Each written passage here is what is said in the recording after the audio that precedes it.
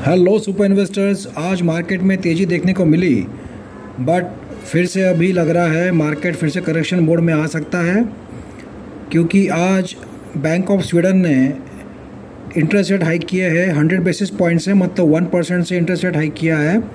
तो ये इंडिकेशन है कि अभी सभी बैंक्स एग्रेसिव हो रही है और यूके मार्केट भी आज 0.60 परसेंट डाउन था।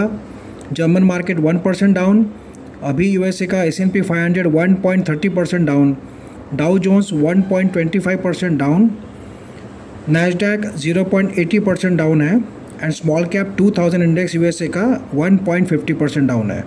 तो ओवरऑल देखा जाए तो फिर से थोड़ा सा अभी गिरावट का माहौल लग रहा है।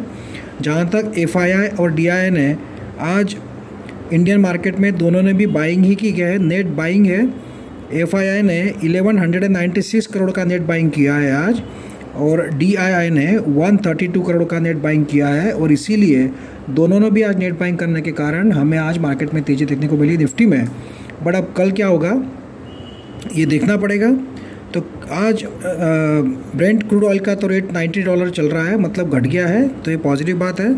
बट ओवरऑल देखा जाए तो जो मार्केट में फियर है, दो बातों का है। बैंक ऑफ़ इंग्लैंड का भी, इंटरेस्ट रेट का अभी कितना बढ़ाएँगे वो भी डिक्लेयर होने वाला है कुछ दिनों में। उसके अलावा यूएस फेड की मीटिंग चल रही है। आज फ़र्स्ट डे है। ट्वेंटी फ़र्स्ट को कल इंटरेस्ट रेट हाइक का जो डिक्लेयर होने वाला है ज़ीरो पॉइंट सेवेंटी फाइव से होता है कि वन परसेंट से होता है। उसके कारण लोगों के मन में डर है और इसी के लिए मार्केट गिर रहा है। एंटिसिपेशन में कि वन परसेंट अगर रेट बढ़ाया तो मार्केट गिर सकता है।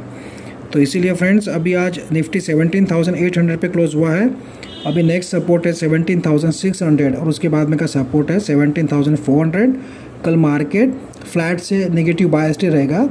ऊपर जाने के चांसेस थोड़े कम है तो थोड़ा फ्लैट ही रहेगा कल का मार्केट या थोड़ा सा करेक्शन भी हो सकता है। So let's see what happens on twenty first of September and friends अगर आपको जैकपॉट शेयर चाहिए होगा, जो कि आपको टेन फिफ्टीन डेज़ में अराउंड टेन परसेंट का प्रॉफिट दे तो उसके चार्जेस मुझे व्हाट्सएप करके आप पूछ सकते हो nine five four five eight five double zero double zero इस नंबर पर। और अगर आपको आपका पोर्टफोलियो रिव्यू कराना होगा तो उसके लिए भी सेम नंबर पर आप व्हाट्सएप करके मुझे चार्जेस पूछ सकते हो, जिसमें मैं आपको बताता हूँ, अच्छे शेयर्स कौन से हैं, बुरे शेयर्स कौन से हैं, कौन से रखना चाहिए, कौन से बेचना चाहिए। Thank you friends all the best for tomorrow's trading